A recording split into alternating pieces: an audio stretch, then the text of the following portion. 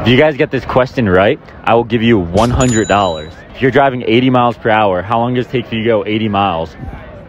80, hours. All right, takes 70 hours? 70 hours. Uh, 80 hours? uh, final answer. 80, 80. 80 hours. hours. 80 hours. How do you get 80 from 70? It's miles.